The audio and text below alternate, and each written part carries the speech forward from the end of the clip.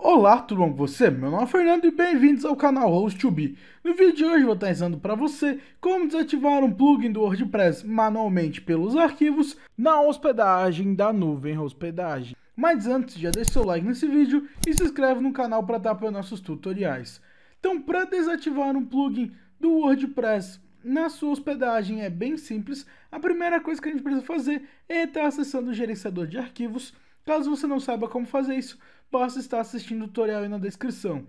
Então, já dentro do gerenciador de arquivos, a primeira coisa que vamos fazer é ir na pasta onde está o meu plugin instalado. Então, vamos acessar a pasta onde está o WordPress desse site.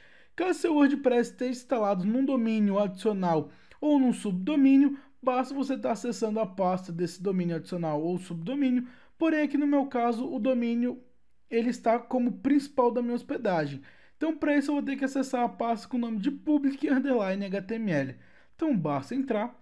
Em seguida, vai estar todos os meus arquivos do WordPress, porém, eu vou concentrar na pasta de nome wp-content. Então, eu vou entrar nessa pasta com esse nome. E na pasta seguinte, nós vamos na pasta com o nome de plugins. Então, basta entrar.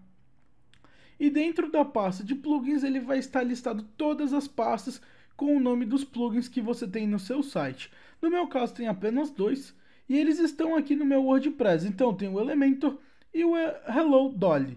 Então eu quero desativar o plugin do Elementor. No meu caso estou acessando o meu painel, porém se você não estiver acessando por algum problema no plugin, você vai fazer isso, desativar o plugin e já conseguir acessar. Mas aqui eu estou acessando e eu quero desativar o Elementor. Então para fazer isso eu simplesmente vou ir na pasta do nome do plugin, no meu caso aqui é o Elementor, Vou clicar com o botão direito nele e vou vir na opção Rename. Então eu vou renomear.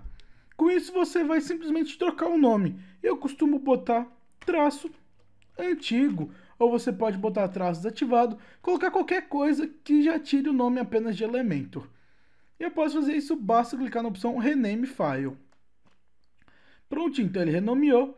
E agora, se eu vir no meu site atualizar a página, ele vai constar que o Elementor já não está mais ativo. Então ele já não está mais marcado e ele não está ativo. Então se o seu site estava tendo algum erro por causa desse plugin, desativando seu site volta a funcionar.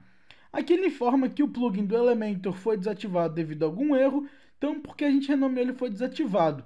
Porém, isso quer dizer que ele vai funcionar corretamente o seu site se esse plugin estava dando algum erro e agora ele foi desativado. Você pode excluir o plugin, fazer o que você desejar, por exemplo, excluir e ele vai excluir o arquivo. E se você quiser ativar ele novamente, basta renomear, remover a alteração que a gente fez e só vai deixar apenas o arquivo como já estava antes. Então eu vou clicar e ele volta ao normal, então basta clicar em ativar.